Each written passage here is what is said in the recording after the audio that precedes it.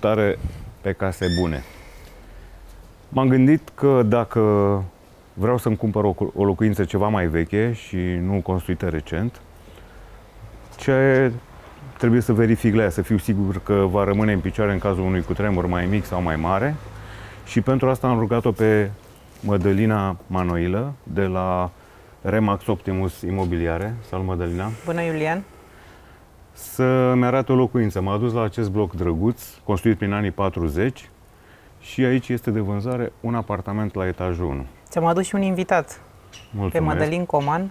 El este specialistul care o să ne povestească azi despre cum trebuie să fie structura unui imobil și eu zic să lăsăm pe el să ne spună cât mai multe. Mulțumesc tare mult! Salut! Spunem dacă vin prima dată, să zicem că am aflat că e de vânzare, vin cu un agent Da. care îmi prezintă locul, unde trebuie să mă uit ca să știu dacă să chem neapărat un structurist să vadă proprietatea sau Vă recomand întotdeauna să chemați un structurist. Nu aveți cum să le cunoașteți pe toate. E imposibil să vă dați seama de lucruri care sunt ascunse sau bine cosmetizate. Cât am avut timp acum, am încercat să dau o roată un pic pe exterior și să văd ce anume aș putea să vă povestesc despre această clădire.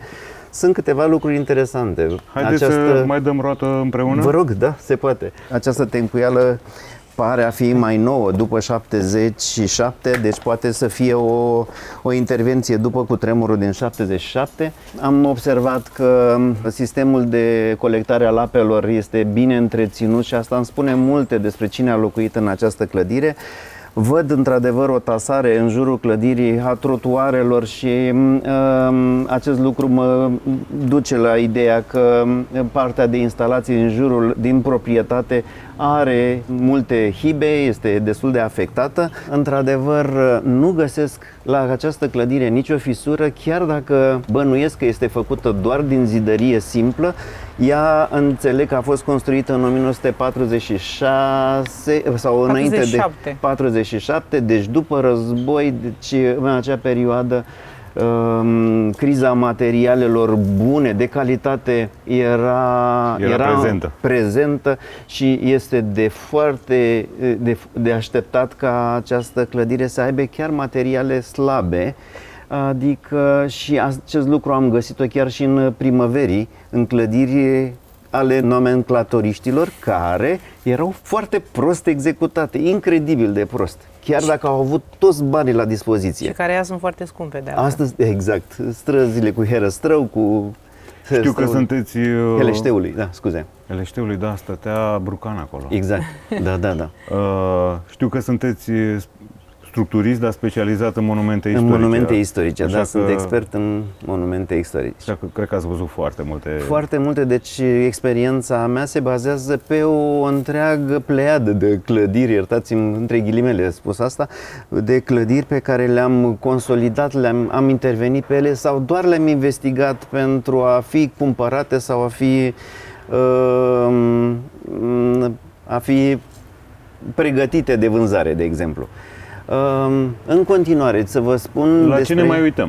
Uh, trebuie să vă uitați dacă tencuiala are, de exemplu, tencuiala exterioară care foarte rar se, mo- se, se intervine pe ea. De obicei este, este carte de vizită a clădirii, dar cu toate acestea ea nu se reface pentru că tre- necesită o sumă serioasă de bani și se văd urmele intervențiilor diferite. În cazul acesta Aici e ceva? nu n-am găsit nimic, chiar sunt in- curios Dar că... ce căutați? Ce ați... De fapt, diferențe între culorile de tencuială, um, diferența în mâna de lucru. Deci dacă acest strop, de exemplu, este uh, dat de un meseriaș, imediat îmi dau seama dacă peste câțiva ani de zile el a fost mai aplicat de venit altcineva, altul. se cunoaște imediat diferența între, între stiluri Și și, cu- tehnici. și culoare. Și culoare, bineînțeles. Fisurile, dacă că acestea există și în ce, în ce tipuri sunt. Sunt datorate fie cu, tremurilor, cu tremurelor,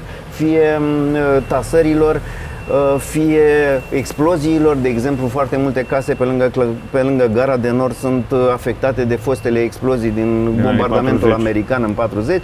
Da. Um, dacă este bine întreținută, dacă s-au lăsat balcoanele, de exemplu, ăsta este perfect, nici nu vine să cred cât de bine arată și... Da, și unul imperfect ce ar fi avut? o fisură pe verticală la îmbinarea cu clădirea între balcon, deci era clar că se lăsa lăsat sau s-a întâmplat ceva cu el. Pot să vă prezint ceva, dacă e- li se pare și dumneavoastră interesant, pentru Vă mine rog, da. Vă rog. Uh, Tot ce am- mi se pare dumneavoastră interesant, mi se pare și nouă. Poftim. Vedeți dumneavoastră, la fiecare colț de fereastră nu apare nicio fisură, nici mai sus, nici mai jos. Asta înseamnă că stă foarte bine așezată, chiar dacă a fost consolidată în 1977-80, în cazul în care a fost consolidată, zic și eu, ea stă foarte bine, deci n-a mai avut tasări, tasări ulterioare. Și orică reparația de atunci a fost foarte bună, fie că Clădirea de nouă este foarte bine, bine făcută. Bun. Mă uit la scară, scara întotdeauna crapă, uh, pentru că ea nu are o fundație adâncă, este cea mai afectată din punct de vedere al înghețului dezghețului. Vă imaginați că în timpul iernii la minus 20 de grade, scara se ridică 3 cm sus, vara se cobo- coboară și ea are tot timpul un joc. Deci uitați-vă, nu are absolut nicio, nicio fisură pe lungimea ei, înseamnă că s-au au fost bani suficienți pentru casa aceasta. A fost din belșug. Au fost des, destul de mulți bani băgați Să în facă o această... fundație serioasă și scării. Exact. Sageacul acoperișului este bine întreținut. Asta înseamnă că e de așteptat ca podul să fie și el bine întreținut. De obicei este plin de găuri, îns- ar însemna că Cuiburi. E, cuiburi ar însemna că uh, învelitoarea este perforată, înseamnă că tabla s-a străpuns, că apa a curs, înseamnă că a curs și în casă, dar acesta este foarte, foarte, foarte bine întreținut, dacă vă uitați, și șgheaburi și tot. Deci, Oameni gospodari. oameni gospodari, putem să intrăm înăuntru Să și intrăm, să... da? Haideți să intrăm, să vedeți și în interior uh, proprietatea. Aș uh, începe cu o remarcă. În casa scării nu există nicio fisură și scara este foarte sensibilă la mișcările seismice, deci lucrul acesta îmi spune că această clădire, acest imobil este foarte rigid, are o osatură zdravănă din pereți de zidărie, posibil să aibă și stâlpișori de beton, e de investigat. Ce observ este că apare o grindă destul de înăltuță pentru vremea 1946. Și pentru nimic deasupra, pentru că e doar pod. E doar Foarte, podul Foarte deasupra. interesant, da, m- mă bucur de precizare, deci așa ceva nu se făcea, deci este iarăși o notă, o bilă albă a acestei clădiri. Mă uit la gresie, gresia este înlocuită, deci e clar că nu știu dacă această configurație de pereți a fost, este cea inițială. Una din problemele majore ale pe- a epocii noastre, anilor noștri, este că achiziționăm clădiri care au fost modificate ulterior și nu mai are pereții cursivi de la parter la ultimul etaj și au apărut diverse modificări care pun într-o situație dificilă clădirea și ea, nemai trecând printr-un seism care este un test suprem al clădirii, poate să ne ascundă niște vicii importante ale clădirii. Și vă recomand să această întâlnire să fie continuată cu investigarea și a apartamentelor de mai jos, să încercăm prin vecini să, reu- să reușim să reconstituim uh, planul fiecărui apartament, să vedem dacă ele nu au suferit modificări și să nu avem surprize ulterior. Parchetul este, este destul de vechi, este probabil Credeți că cel e la- original. Credeți că e la original? Da, cred că este original. Uh, Mă uit la detalii, acestea sunt detalii specifice anilor respectivi. Pare să că pereții sunt pe pozițiile lor și nu s-a modificat nimic. Fisuri nu văd pe nicăieri și nu văd, nu văd buiandrugi uh, fisurați și acest lucru, chiar dacă a fost zugrăvit acum 6 ani de zile, 5 ani de zile, fisurile simțit. s-ar fi simțit, le-aș fi văzut, ele au dimensiunea unui fir de păr, dar pentru ochiul meu nu, nu au scăpare. La uși trebuia să Da. fie, trebuia să fie fisuri și acolo. Să fi găsit fisuri, da, în stânga sau dreapta, cele datorate cu tremurelor, iar uh, pentru cele care mi- mi-ar indica o tasare, ar trebui să le văd doar într-o singură direcție. Fisurile pe o singură direcție într-o clădire îmi indică tasări. Adică acolo unde fisura ajunge sus înseamnă că a, în, acel, în acea poziție a tasat, adică s-a dus în jos clădirea. Țineți minte acest aspect. Vreau să te întreb și eu ceva. Um, Rog. De obicei la clădirile care sunt foarte vechi, Uh, e o așa vorbă printre agenți și printre cei care vin să renoveze, care nu au uh, evident specialitate. Tavanele care sunt rotunjite la muchii, oare acolo există planșeu de beton sau nu există? Pentru că e așa ca o nu pot să vă confirm lucrul acesta. Am înțeles că, că dacă n-ar fi unghiuri de 90 de grade, tavanul de deasupra n-ar fi din beton. Nu întotdeauna. Nu? nu. Okay. Există tehnici, există tehnici de rotunjire a colțurilor, indiferent dacă e planșeu de beton sau de lemn. Sau de, de orice. De gusturi, deci în funcție de cum s-a Este o decorație gândit. aplicată care nu are nicio legătură cu structura. Că este... mulți zic că dacă sunt mm. rotunjite tavanele, acolo n-ar fi planșeu de Uite, beton. Uite, vezi, și... de bun. În da. cazul ăsta îmi trebuie un expert. Da, da exact. Fără expert, degeaba ne dăm părere. Da, el este, se investigează așa cum v-am zis, ai în, în, în, la nașterea balconului din, dinspre clădire la partea superioară s-ar vedea imediat fisura dacă acesta suferă modificări de, de, de și de este înclinare. și termoizolat. Este o, o problemă majoră pentru noi experții că nu puteți vedea mai nimic. Ascunde, ascunde orice ar putea să ne... Da, uitați-vă la vecini. Da, exact, bineînțeles, bineînțeles. Și în cazul în care toată clădirea era termoizolată, căutam clădiri care sunt identice chiar în această zonă. Că de obicei proprietarii la pe vremuri să își copiau proiectele, era Sau un, era un, făceau mai multe. Făceau mai multe și imediat îți dai seama dacă ele uh, respectă un, uh, un standard căutând similitudini între, între clădiri. Mai trebuie să vedeți ceva prin casă, prin restul casei? Uite mă, uit, bineînțeles, nu există niciodată o cameră ne- neinspectată decât cele în care sunt uh, închise cu, cu lacăte. Mă uit peste tot, uh, mă uit la țeava de gaz, de exemplu, care n-a jucat în perete, care nu s-a dilatat. Înseamnă că este o clădire extrem de rigidă, foarte bine făcută. Este ea a fost făcută în regie proprie. Proprietarii de aici din bloc au pus banii, că sunt doar trei apartamente, au pus banii și și-au construit propria casă cu un credit bancar. Cam asta e istoricul. Atunci da. când construiești pentru tine, au fost mai responsabili, probabil. Noi suntem vânătorii da. de fisuri. Da, da, da, da, da. Da, nici aici, nimic. Nu, nu este nimic, n-am găsit, n-am găsit nicio... Ori e foarte bine reparată cu... Ori este foarte bine, exact. Și ascunse, da. nu știu cine își bătea capul cu așa ceva, da, nu e exclus. Și se mai întâmplă un fenomen, câteodată mai sare faianța când se, nu? Da. Când se torsionează pereții sau sunt... Și, și gresia de pe, de pe pardoseală uneori se fisurează. sare. Pur și simplu sare ca într-un spectacol de artificii. Acest lucru este destul de, acest fenomen este destul de rar, se întâmplă datorită unor tasări și unor diferențe de temperatură foarte mari între apartamentul de jos și cel de sus. Ia nu înseamnă că n-a pus meseriașul gresia bine atunci când sare. Nu, nu neapărat. Nu neapărat, da. E aici o fisură asta, e periculoasă sau nu? Sau în fine, înseamnă Pus, ceva? Da, poate să apară, poate să fie. Probabil că fereastra cândva ori a fost mai mare. Sau poate aici a fost o cămară. Poate a fost o cămară, diferență de temperatură. În momentul când e deschisă s-ar putea să intre gerul, îngheț, dezgheț, ploaie, degradare datorată intemperiilor. Asta ar fi doar, asta ar fi doar o inspecție vizuală exact. a unei proprietăți. Pasul 2 este să, să contractezi un laborator în domeniul construcțiilor, se fac teste.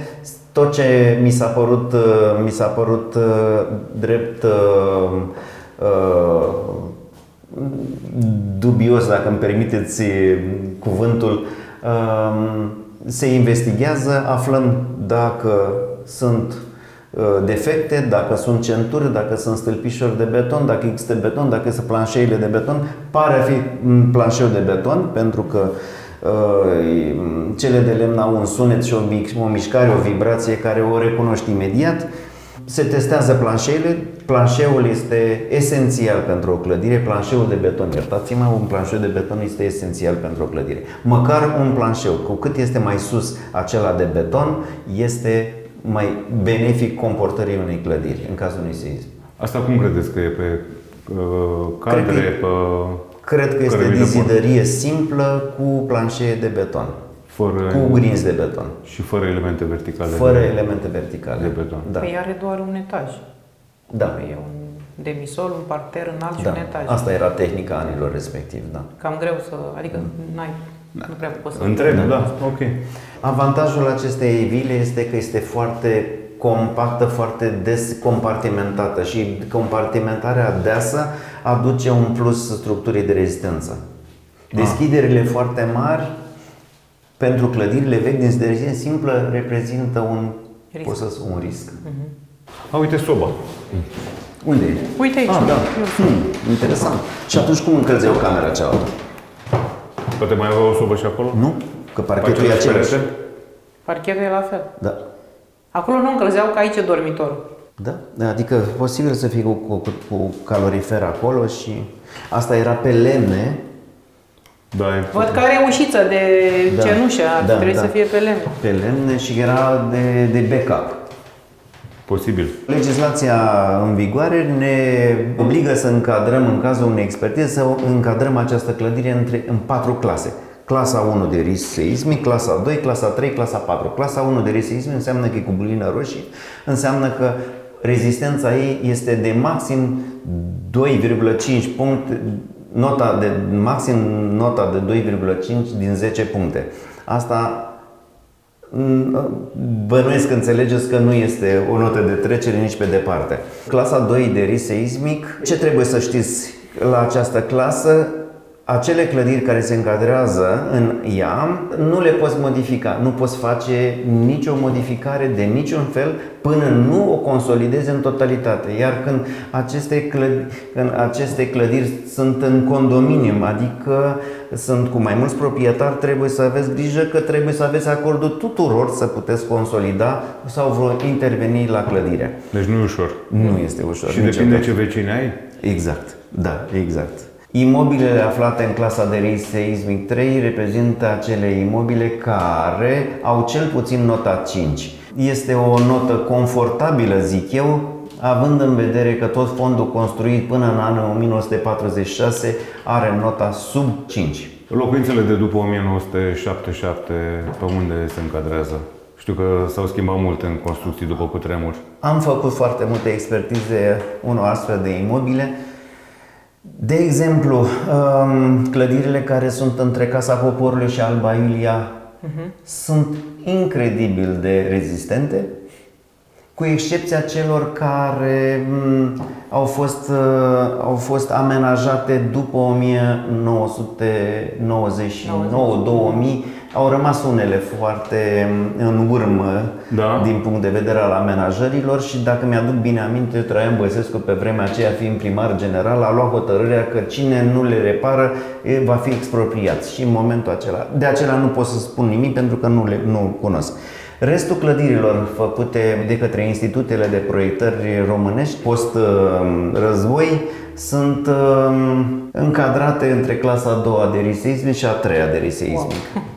Ce înseamnă urgență ca și încadrare într-o clasă de risc seismic? Pentru că în listele primăriei, de câte ori vin la noi clienți, ne întreabă, are urgență, nu are urgență, are clasă 1, are clasă 2.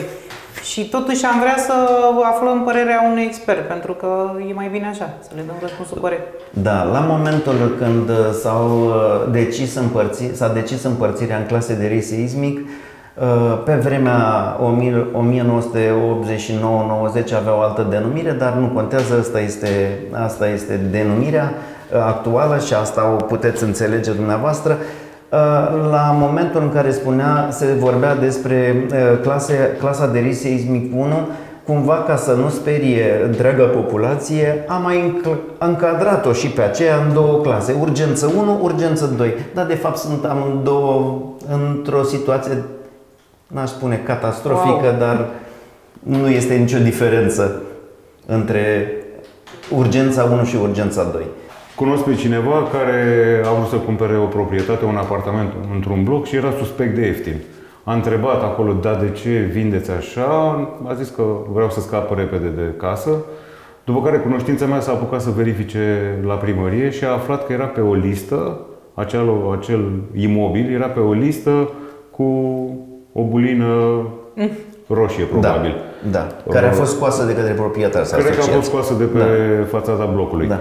Să încurajăm oamenii înainte să se ducă să viziteze, să consulte acea listă, să vadă dacă acea adresă la care merg Bine, ei bineînțeles. e pe site-ul Primăriei Capitalei, nu e ușor de găsit, dar știu că da, există sunt lista, forumuri, sunt bineînțeles, discuții. lista există, puteți să aflați și cine a făcut expertiza și în ce an și tot.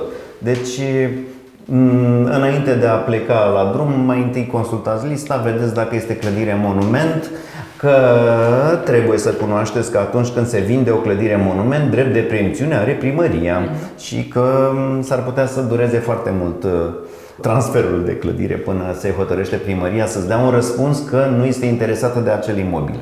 Mulțumesc. O concluzie. Deci una peste alta că este bună căsuța asta, apartamentul da. ăsta. Da. E ok și merită. Acum, Modelina, te rog să ne dai câteva detalii despre proprietatea asta. Știu că aveți la vânzare o Avem la vânzare de o săptămână din uh, biroul nostru, Remax Optimus. Um, proprietatea se compune din uh, acest apartament pe care l-am văzut împreună, care are okay. două camere ce uh, suprafață? Într-o suprafață de 52 de metri pătrați, suprafață utilă, mai sunt și balcoanele aproximativ 4 metri. Ce e interesant la această clădire este că fiecare proprietate din uh, bloc, respectiv sunt patru proprietăți, fiecare are în demisolul clădirii o garsonieră plus o boxă pentru depozitare, iar afară în curte fiecare apartament are curte proprie, uh, e strict delimitată. delimitată, atât în proprietate, uh, în documente, cât și pentru folosință, evident. Și fiecare apartament are un garaj. Poți să te ocupi, să-l ocupi cu mașina, pentru că există cale de acces, sau poți să faci în el uh, un loc uh, pentru petrecerea timpului în exterior.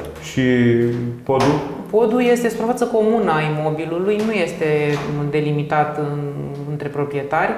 Cea mai interesantă chestie e cu acest teren pe care l-ai în proprietate și te poți simți într-un apartament de bloc ca la o casă poți să petreci timp în exterior. Este foarte multă verdeață, extrem de multă liniște, e o proprietate absolut minunată. Ai zis cât, cât costă? 139.000 este listarea, atât apartamentul, garsoniera și terenul și garajul în același preț. Ele fiind cadastrate separat, dar sunt un tot unitar, nu se pot vinde separat, ci tot, tot deodată. Ok, mulțumesc tare mult. O discuție foarte interesantă despre structuri și despre, până la urmă, despre cutremure. Acum, oricum, mă bucur că e foarte bună casa și clienții noștri pot vedea că pot cumpăra în siguranță o proprietate. Sau pot chema pe expert să facă o analiză mai serioasă. Da, dacă mai există dubii. Radar da. de metal, cu. Pahometrii, determinări de armătură, clasă de betoane, bineînțeles. Se ia se mostră de cărămidă. Da, epruvete. Se poate face până la precizie de 100%, nu? Bineînțeles. Nu chiar 100%, iertați-mă, dar um, e, suntem destul de aproape, totul se bazează pe probabilistică. Mă bucur că ați apelat la un inginer, pentru că altfel poate că acest apartament va fi luat, va fi cumpărat în sistemul acesta de prima casă și să nu ajungă să fie luat un apartament uh, din uh, categoria Rabla. Da, da. Mulțumim tare mult! Dacă ți-a plăcut uh, discuția noastră și proprietatea pe care ne-a prezentat-o azi Mădălina de la Remax Optimus, uh, dă-ne un like. Dacă ai de întrebat ceva, scrie-ne în comentarii, dă un share prietenilor tăi și abonează-te ca să vezi primul cele mai noi video pe casebune.ro. La revedere!